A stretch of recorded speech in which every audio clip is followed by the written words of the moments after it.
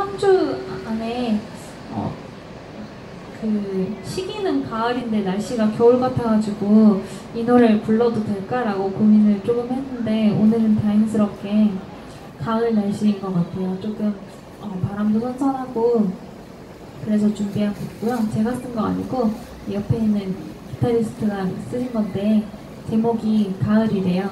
곡 설명 한번 해주시고 같아요. 오늘처럼 날씨 좋은 날 이제 하늘 되게 높고 파랗고 어, 별도 적당히 좋고 덥지 않은 그런 날씨에 너랑 같이 어디론가 떠나고 싶다라는 마음을 담아서 썼던 노래입니다. 가을 들려드릴게요.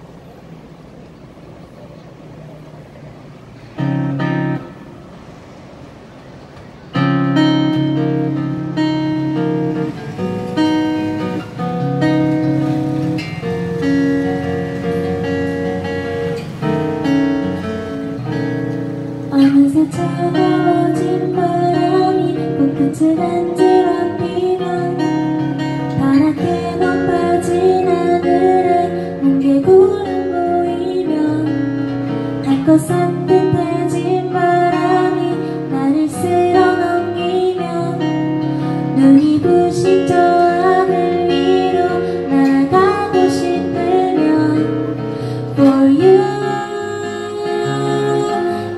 나